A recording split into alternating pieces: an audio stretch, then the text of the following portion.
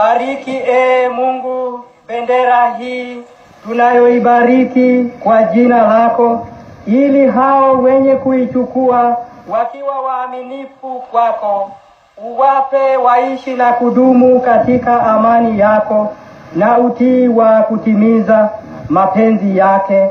Amen.